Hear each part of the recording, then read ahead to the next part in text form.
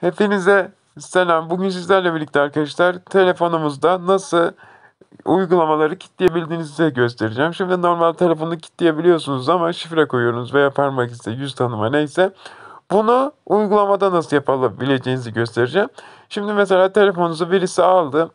Mesela şifresini biliyor veya her neyse arkadaşlar işte telefon açık veya ne bileyim Instagram'ları sahibinden mesela Let's Go Play Store. Mesela YouTube Studio önemli bir uygulama ve başkasının girmesini istemiyorum.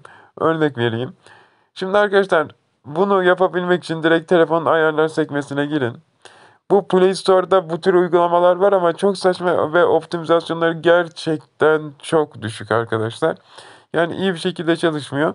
Aşağı doğru e, indikten sonra uygulamalar sekmesine basın. Uygulamalar sekmesine baktıktan sonra zaten en aşağıda çıktı uygulama kilidi var. Mesela uygulama kilidi mesela ben burada bir bunu şey yapmak için denemiştim arkadaşlar. Bir desen veya parmak izi. E, yüz verisi kullanımı. Burada yüz seçeneği de varmış arkadaşlar. Şimdi örnek verelim arkadaşlar. Ben burada galeriyi kilitledim. Dosya yöneticisini de kilitledim. Siz burada aşağı mesela aşağı doğru indikçe istediğiniz işte ne bileyim Instagram'da şudur budur kitleyebilirsiniz. Ee, ne bileyim ee, ben mesela arkadaşlar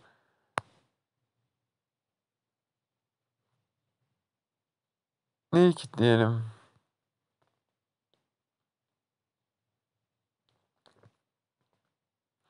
Play Store'u buldum. Ana ekranda Play Store vardı. Play Store'u kilitledim.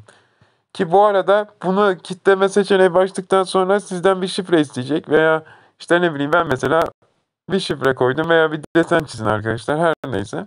Az önceki gibi Play Store'u kilitledik mesela. Döndük. Play Store'u açalım. Görmüş olduğunuz gibi parmak izi okuyucusu istedi veya deseni girmenizi istedi. Desen farklı olabilir. Yani telefonunuzda girdiğiniz şifreden farklı olabilir. Neyse arkadaşlar seferki videomuzdan da bu kadardı. Kendinize çok bakın. Hoşçakalın. Bye.